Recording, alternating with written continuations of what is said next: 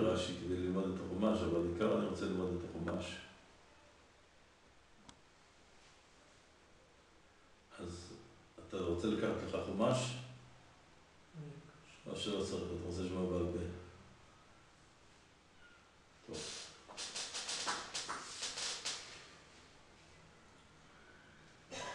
עם ישראל כל שנה ושנה זוכה לקרוא את כל החומש כולו. מבראשית עד לעיני כל ישראל, אנחנו קוראים אותו במשך כל השנה כולה, זה מפרס על כל השנה כולה, יש מדי שבת ושבת פרשה אחרת שאנחנו קוראים אותה. אנחנו קוראים אותה, ולכן המילה הראשונה היא בראשית. למה המילה הראשונה בראשית? מה זה בראשית? רש"י מתקשה, צריך להגיד בראשונה, מה זה בראשית? בראשית זה תמיד דבר של התחלה של משהו. לכן רגילים לומר, בראשית, המילה הראשונה של התורה בראשית, שאתה הולך ללמוד חומש, עליך ללמוד את זה כאילו פעם ראשונה אתה לומד אותה עכשיו מחדש. כמו שחז"ל אומרים על הפסוק, והיו הדברים האלה אשר נפים צורך היום על לבביך, שבכל יום ויום יהיו בעיניך כחדשים. את התורה אנחנו צריכים ללמוד תמיד מחדש, כאילו לא ראינו אותה מעולם, ולכן אנחנו לומדים אותה כל שנה ושנה. המילה שנה, יש בה גם כן משמעות מעניינת. לא רק מספר הימים, בדרך כלל זה ש"ד, 354 שנת הלבנה שעם ישראל מונים לפיה. זה ש"ד, רק בשנה מלאה זה יכול להיות ש"ה. אז שנה זה כמספר הימים של השנה, אבל לא רק זה, אלא גם יש בזה משמעות. מצד אחד זה שנה, זה שונה, זה לא כל שנה ושנה יש לה את התפקיד שלה. כל דור ודור יש לה את התפקיד שלו, אנחנו אומרים יותר חלקנו בתורתך. וגם חוזר על עצמו, התאריכים כולם חוזרים על עצמם.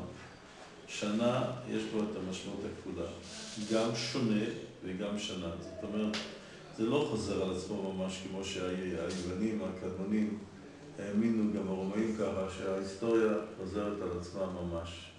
היה קיסר, פילוסוף, אורליוס, שהוא האמין שעד גיל 40 האדם רואה את כל מה שיש בעולם. זה לא נכון, יש תמיד דברים חדשים, הקדוש ברוך הוא מחדש בכל יום טובים מעשה בראשית, אבל את אותו בראשית הוא מחדש. לכן אנחנו מסתכלים על המילה בראשית, גם התחדשות וגם חזרה. עד כדי כך שחז"ל אומרים, אינו דומה, שונה פרקו מאה פעם, שונה פרקו מאה ואחת פעם. אדם למד כבר מאה פעם את התורה, לומד את זה מאה ואחת פעם, זה, יש בזה תמיד מהחידוש. כמו שחז"ל אומרים, דדי רבוך בכל עת. מה הדת שהתינוק יונק? יונק כל הזמן חלב, איך אפשר? כל הזמן חלב. שנה שלמה או שנתיים אפילו, יונק כל הזמן חלב. איך, איך לא נמאס לו? הרי אדם, חוץ מלחם, שאנחנו אוכלים אותו בכל ארוחה, כל אוכל שנאכל אותו כמה ימים, הרי זה יצא לנו מן האף. אי אפשר לאכול את אותו אוכל כל הזמן, אדם צריך תגיד שינוי. תורה אנחנו לומדים כל הזמן, אינו, אפילו למדת את זה כבר מאה פעם, אתה עכשיו לומד את זה מאה ואחת פעם, זה, אתה מגלה פנים חדשות, עוד חידוש שבע. אינו דומה שני פרקות, זאת אומרת, לכן אפור בה ואפור בה דכולה בה, אמר בן ה', אפור בה ואפור בה דכולה בה. שבתוך התורה תמצא תמיד דברים חדשים ששייכים בכל דור ודור, תמיד את הפנים החדשות של הדור נוכל לגלות, ולכן כל שנה ושנה אנחנו לומדים את זה מחדש, אנחנו לומדים בראשית, יותר מכך. אבל שם טוב אומר, תורת השם תמימה, ועדיין אנחנו עוד לא הגענו לעומקה בכלל, ועדיין אנחנו רק לומדים רק קצת, אנחנו... אנחנו אפרים, פעם אחת התעלם מאיזה משהו עמוק בגמרא, הוא אמר, התורה היא התבטאת בפסוק, והתורה בתולה ואיש לא ידע, עדיין לא ירדנו לעומק התורה שלה. זה נכון, תמיד אנחנו רואים כל דור ודור יש פירושים חדשים, מתחדשים כל הזמן דברים, כמו שאומר החידה, חדשים לבקרים רבה אמונתך. בכל דור ודור יש ירידה משמיים של חידושים, ולכן הוא מסביר איך זה ייתכן שאנחנו יכולים ליישב קושיות של גדולי עולם. רב קיבי איגר, הוא שואל לפעמים קושיות שהוא נשאר, וצריך עיון גדול. בצד של הגמרא תמצאו בגיליוני הש"ס המון קושיות, וביניהם קושיות שהוא כותב על זה, וצריך עיון גדול, כבר ראש השיבה בימינו, ואומר תירוץ, זה נראה הגיוני וזה נראה אמיתי, איך זה יכול להיות? אומר החידה זה לא קושייה, הגיע הזמן של התירוץ הזה לרדת לעולם, ואז לכן אנחנו צריכים תמיד להסתכל בראשית, כל דור ודור יש לו את החלק שלו בתורה, ותמיד אנחנו נמצאים בבראשית ולראות את זה כאילו מעולם לא ראינו את התורה, ולכן זה כמו שידוע סיפור, אני לא יודע אם זה אגדה או עובדה, איך ניוטון גילה את כוח הגרביטציה, שזה יסוד של כל הכללים של המכניקה של הבריאה, אחד מהדברים הכי פשוטים והכי יסודיים בהבנת הפיזיקה של הבריאה, זה הגרביטציה. כשנפל על הראש שלו אגס או תפוח, יש שתי גרסאות בסיפור האגדיתי הזה, שנפל על הראש שלו כשהוא לזור תחת עץ. הפרי, הוא שאל את עצמו למה הפרי נפל לי על הראש ולא נפל על השמיים. אצלנו אז השאלה הזאת לא הייתה באה בכלל בחשבון, לאן שיפול? אנחנו כל כך רגילים שכל דבר שנשמט מהיד נופל לארץ, אנחנו נזהרים מאוד שהכל זכוכית לא תיפול על הארץ ותתנפץ. אנחנו בכלל לא היינו מעלים על הדעת שהיא תעוף ללמעלה, מה פתאום שלא ללמעלה? על ידי כך הוא שם לב לכוח הגרביטציה, כוח המשיכה שהקדוש ברוך הוא הטביע בבריאה כולה, ועל פי זה גילה לנו יסודות גדולים בפיזיקה. זה כשאתה מסתכל מחדש כמו בראשית, כמו שאומר גם חובות הלוות, אל הבריאה ועל העולם תסתכל כאילו פעם ראשונה אתה רואה את זה. כאילו היית עיוור ועכשיו נפקחו עיניך, ואז תראה, תשים לב, לי קרה דבר דומה. נסעתי להלכת בחוץ לארץ, הייתי צריך לתת שיעורים בחוץ לארץ. פעם ראשונה בחיים שלי שיצאתי לחוץ לארץ וחזרתי לארץ. יצאתי לחוץ לארץ, אז הנופים הם שונים מהארץ, אז כמובן שאדם שם לב למה שנסע מסביבו, שזה שונה. חזרתי לארץ ישראל, למקום שהביתה, פשוט הביתה, פתאום שמתי לב שאותם עצים, אותם נופים שאני מכיר, אלפי פעמים עברתי באותו מקום, לפחות מאות פעמים עברתי באותו מקום, יש להניח שבתוך 40 שנה שגרתי שם ראיתי את זה אלפי פעמים, ופתאום נראו לי באור אחר, בכיוון אחר, אותו דבר שהייתי אותו כל כך הרבה פעמים, כיוון שהייתי במקום אחר וחזרתי לפני תשומת ליבי לראות את הדברים באור אחר. לכן המילה הראשונה של התורה היא בראשית. אתה צריך תמיד להסתכל על התורה כאילו אתה בראשית. וגם בגלל הענווה, שאתה צריך לדעת, אתה עדיין בראשית. רגילים לומר במליצה כדי שהדברים יתחדדו יותר. והש"ס וילנה, ויש, מתחיל מדף ב', אולי גם, אני לא אגיד, גם הש"סים הראשונים. כי הדף א' היה עמוד השער. דף השער היה א', ואחר כך התחילו ב'. אבל השתמשו במציאות הזאת כאמירה יפה, לומר לנו לבני אדם, תדעו לכם, אם אדם אומר, גמרתי את המסכת, אומרים לו, אתה טועה, שאפילו דף א' עוד לא למדת. תרגיש את עצמך שעוד לפני א' אתה עומד. לכן המילה בראשית היא כאן מלמדת אותנו דבר גדול מאוד, איך לגשת ללימוד התורה וגם איך לגשת להסתכלות בבריאה, כאילו פעם ראשונה אתה רואה אותה. כמו שחובת אבות אומר להסתכל, ולכן חשוב מאוד שנשים לב לנקודה הזאת, כאילו פעם ראשונה שאנחנו רואים את הבריאה. ועל ידי זה אנחנו נוכל לראות את הקדוש ברוך הוא, וזה מה שקרה לאברהם אבינו. אולי דווקא יכול להיות, אני לא יודע, בגלל שאברהם אבינו נחבא, רצו להרוג אותו, כי החוזים בכוכבים אמרו לנמרוד שייוולד יותר הרבה, שהוא יכחיש את כל האמונה שלך, את עבודת האלילים, הוא רצה להרוג אותו, אז החביא אותו במערה, וכשהוא יצא מהמערה וראה את האורות, שם לב יותר מה שבן אדם שנולד יחד עם האור, בתור תינוק רואה את זה יום יום. הוא ראה את השמש, הוא בהתחלה חשב שזה כוחו של ה... כאילו, הוא שם לב לשמש, שזה משפיע על העולם. הוא רצה להתפלל לשמש, אבל הוא חשב שזה חלילה הכוח האמיתי של הבריאה שברא את העולם. אחר כך ראה שזה שוקע, אז הוא חשב ללבנה, ובסוף התחיל לחשוב, הוא הבין שזה אלה רק משרתים של בורא עולם.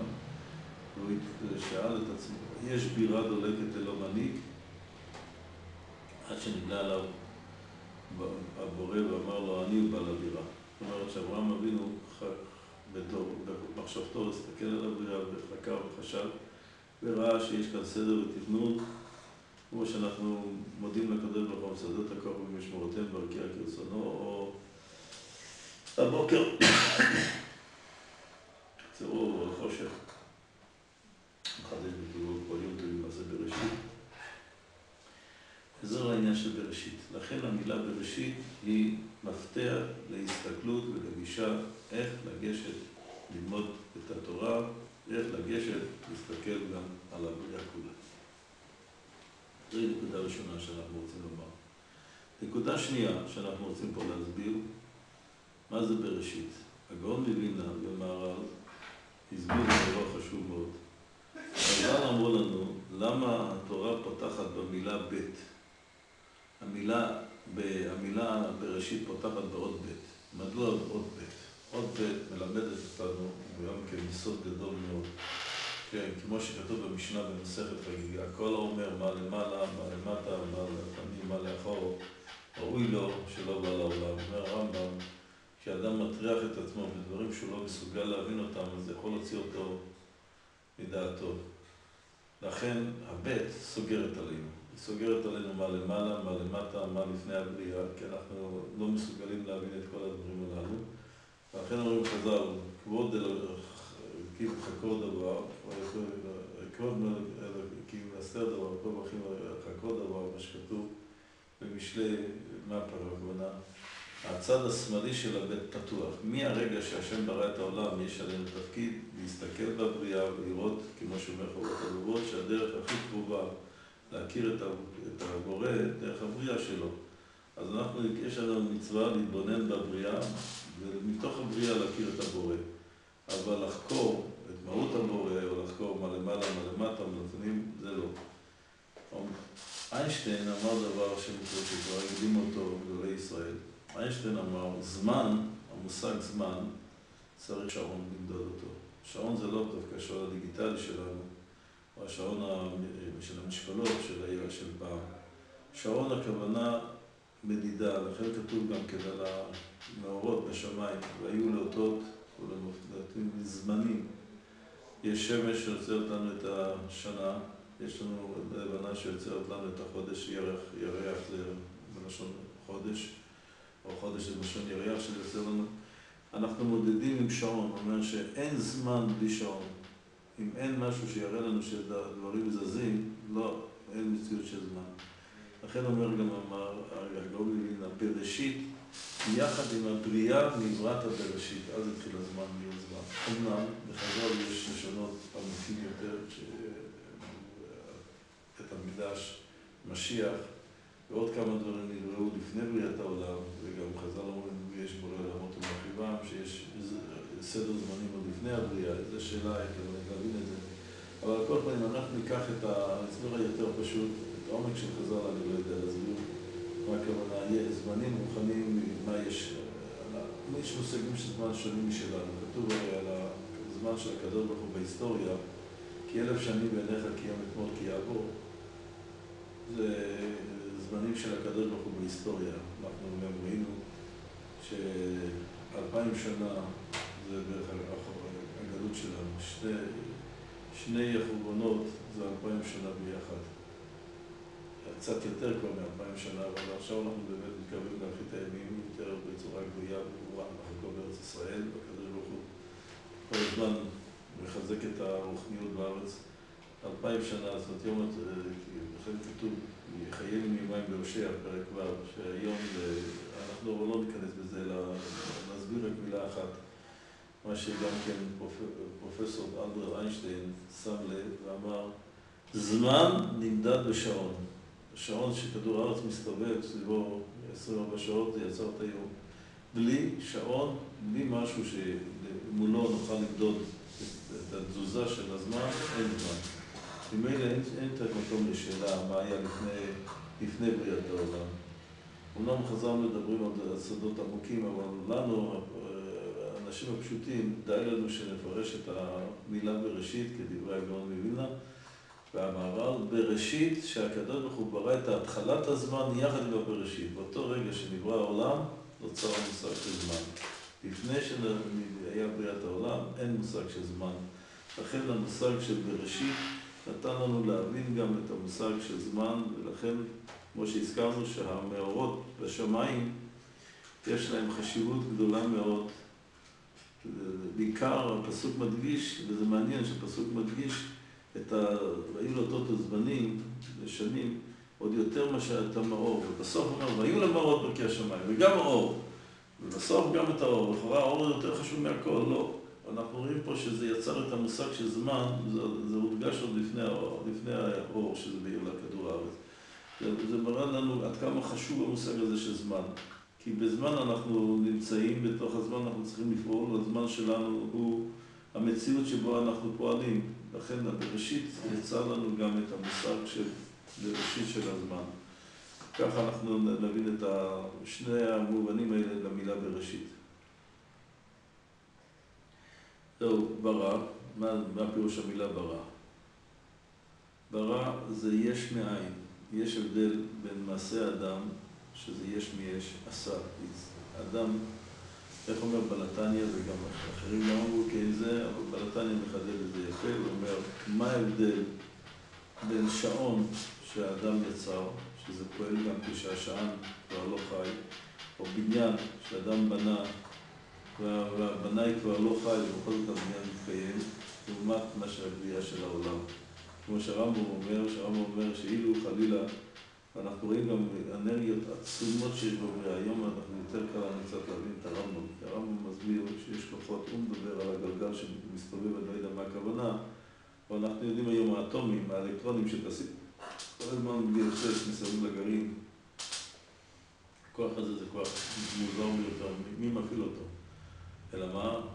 בורא עולם מפעיל אותו, לא רק הפעיל אותו, אלא מפעיל אותו גם עכשיו.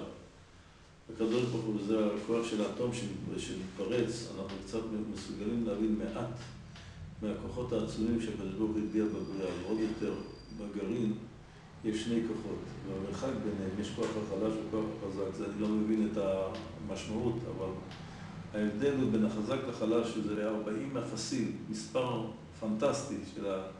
אם היה שינוי קצת ביחס, אז הגרעין לא היה מתקיים. פה אנחנו רואים שהקדוש ברוך הוא מחזיק כל הזמן את העולם. לא רק ברא, אלא בורא, עשה, לכן זה ההבדל, אומר בלתניא. כשאדם יוצר משהו, הוא לוקח יש מי יש, רק משנה את הצורה שלו. אבל לכן, כשהוא עזב את הדבר, אז הדבר מתקיים מיד מכוח עצמו, כי היה לו כוח קיום עצמי לפני כן. אדם רק שינה את הצורה שלו, יצר מחומרים את השעון, השעון מתחיל לעבוד, מכוח מה שהפעילו אותו, לדעת, הוא יכול להמשיך הלאה. לא כך היצירה של העולם, היצירה של העולם תלויה ועומדת כל הזמן שהקדוש ברוך הוא מקיים אותה. לכן השאלה של השגחה פרטית, מי שמבין שכל הבריאה תלויה ועומדת כל הזמן ברוח פיו של הקדוש ברוך הוא, כמו שכתוב, בדבר השם שמיים נעשו, הכוונה שהמילים של הקדוש ברוך הוא, יהי אור או זה, זה מה שמקיים, הכוונה, הרצון של הבורא מקיים את המציאות שקיימת בכל רגע. והרצון הזה נמצא גם עכשיו. צריך גם את הרצון הזה שיקיים את הדברים האלה. זה לא דבר שנוצר וקיים ועומד בזכות עצמו, אלא הוא קיים בזכות שבורא עולם רוצה אותו. זה הנושא אשר, במילה שנייה שלמדנו בתורה. ברא, מה זה ברא? ברא יש מאין, שהקדוש ברוך הוא לקח, את, לא לקח, אלא יצר מאין את המציאות. לכן כל המחקרים שיחקרו בעולם לא יוכלו לעבור את האל-חזור הזה, את הנקודה הזאת, איך נברא העולם ואיך נוצר המציאות. הם יכולים אפילו להגיד המפץ הגדול, מה התיאוריה של המפץ הגדול, שהיום דווקא יש גישה יפה, מעניינת מאוד של דוקטור אביעזר, אביעד אביעזר, שהוא מסביר שאיך בראשית מסתדר יפה מאוד עם תיאוריית המפץ הגדול, אנחנו נצטרך לדבר על זה בעזרת השם מחר אולי. על הנושא הזה של הביג בן, המפץ הגדול, איפה זה רמוז בתורה.